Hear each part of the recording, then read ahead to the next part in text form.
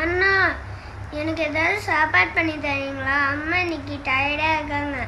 Okay கிச்சனில் வந்து கொஞ்சம் பன் இருக்குது அதனால அம்மா பண்ணது கார்லிக் பன்னீர் சீஸ் பாவ் உனக்கு பண்ணி தரேன். கொஞ்ச நாள் வெயிட் பண்ணுறியா? நான் பண்ணிட்டு தரேன்.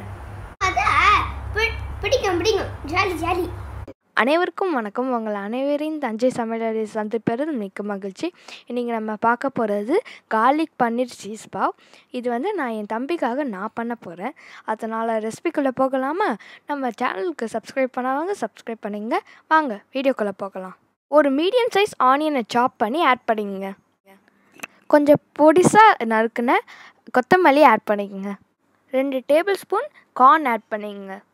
ரெண்டு tablespoon red capsicum add பண்ணிங்க.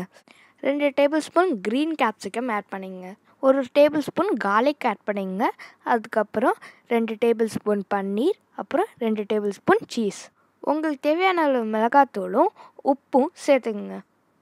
ஹாஃப் டீஸ்பூன் சுகர் சேர்த்துங்க. ஹாஃப் டீஸ்பூன் பட்டைத்தூளும் ஹாஃப் டீஸ்பூன் சுக்கு பவுடரும் கொஞ்சமாக கஸ்தூரி மேத்தியும் சேர்த்துங்க இப்போ இது எல்லாத்தையும் மிக்ஸ் பண்ணிக்கங்க இப்போ நான் ஒரு பவுலில் மூணு டேபிள் ஸ்பூன் அளவுக்கு பட்டர் உருக்கி எடுத்திருக்கேன்.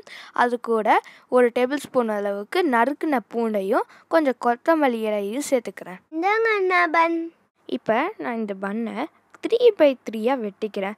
அதுவும் நம்ம ஃபுல்லாக வெட்டிடக்கூடாது அப் அதனால் அப்போ தான் நம்மளோட ஸ்டஃபிங் வந்து கீழே உழுந்துடாமல் இருக்கும்.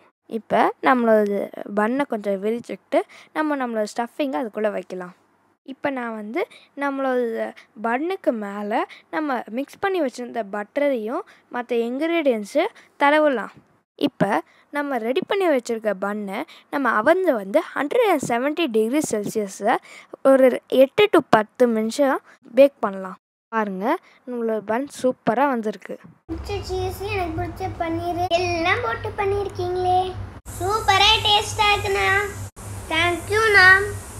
இந்த ரெசிபி உங்களுக்கு ரொம்ப பிடிச்சிருக்கும்னு நினைக்கிறேன். பிடிச்சிருந்தா லைக் பண்ணுங்கள் ஷேர் பண்ணுங்கள் சப்ஸ்கிரைப் பண்ணுங்கள் உடனுக்குடன் எங்கள் வீடியோக்களை தெரிஞ்சுக்கொள்ள பெல் பட்டன் ப்ரெஸ் பண்ணுங்கள் நன்றி.